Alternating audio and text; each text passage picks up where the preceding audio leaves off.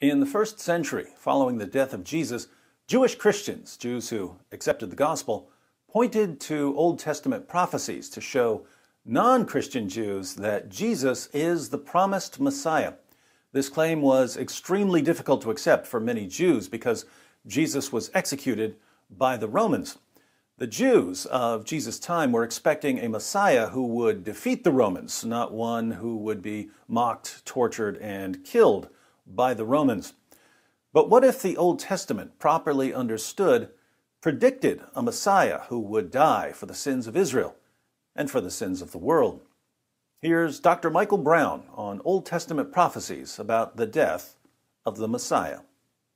It's really important when we look at Old Testament prophecy to recognize that God said to Abram, Abraham, that through his seed the whole world would be blessed. And then when you get to the end of the book of Genesis, we focus on the tribe of Judah, and there will be a ruler from the tribe of Judah, and the nations will be gathered in obedience to that one. And then as you get further on in the Old Testament, it's, it's David who's singled out.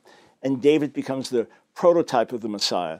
We even have in, in passages like Ezekiel 34 that the future messianic king is called David. But we see that David was unique. He was the king, but he also performed priestly functions at different times. And in Psalm 110, speaking of David slash the Messiah, it says, You are a priest forever after the order of Melchizedek. And then in Zechariah, the third chapter and the sixth chapter, Yehoshua, Joshua, the high priest, is put forward as a type and sign of the Messiah. So the Messiah is depicted as literally a royal priest, a priest sitting on a throne wearing a crown. Why is that important? It's important because the Messiah, typified by David, is both a king and a priest. So as king, he rules and reigns, establishes his kingdom, brings justice, destroys the, the wicked. As priest, he deals with sin. He makes atonement. He intercedes. He takes our place.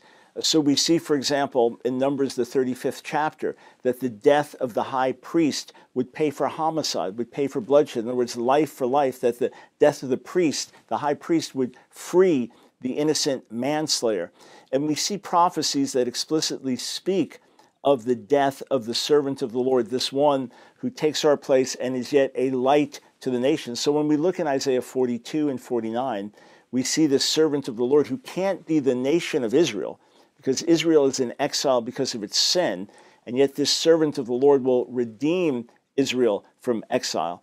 This servant of the Lord will have a mission to Israel that appears to fail, and yet he'll be a light to the nations. When we get to Isaiah 50, we see that the same servant of the Lord is terribly beaten for his obedience to God. And then when we get to the end of Isaiah 52, verse 13, down through Isaiah 53, 12, it paints this picture of the same servant of the Lord who will function now as a priest and make atonement. The language of Isaiah 53 is filled with priestly imagery. It says that he'll be highly exalted, even in a godlike way, similar to the way God's exalted in Isaiah, the sixth chapter, high and lifted up. And yet it says of him, he's going to suffer terrible disfigurement. You can't even tell he's a man. And then as you get into the 53rd chapter, it speaks of him being bruised and wounded, being cut off from the land of the living. It speaks of his death, it speaks of his burial. It is absolutely explicit and undeniable. And, and, it, and it says that, that he carried our pains and our, and, and, our, and our sorrows. We thought he was suffering for his sin. But instead, we realized it, it was our sin that he was bearing. So that's laid out. Even Isaiah 53 goes on to speak of him living on a long life after death, which is what we call resurrection. So it's very explicitly spell, spelled out in Isaiah 53. When you go to uh, Zechariah 12:10, which speaks of a final war against Jerusalem and all the nations of the world gathering to destroy, it, it says in verse uh, verse 10 of Zechariah 12, "He Eli to share Karo. They'll look to me, whom they've pierced for Safdiolav, and they'll mourn over him." That there will be a time when the nation of Israel recognizes that the one that they rejected, the one that they thought was, was evil or, or responsible for their sufferings because of church anti Semitism and things like that, they'll realize that he's the Savior. And just as the recognition comes in Isaiah 53, he died for our sins, not for his. Here also they'll look to the one who was pierced in Zechariah 12. And then you have Psalm 22, which is the psalm of an ideal righteous sufferer.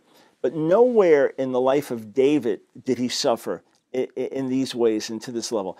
It is not recorded of anyone in the Old Testament that suffered in this level and then was delivered from the jaws of death, seemingly forsaken by God, given over to die, and yet delivered from the jaws of death so that the whole world will come to praise the God of Israel through it. So Jesus comes and fulfills what's written in the Hebrew Bible, in the Old Testament. Psalm 22 is one of those passages, the psalm of the righteous sufferer, delivered from the jaws of death, and whose deliverance brings praise to the ends of the earth.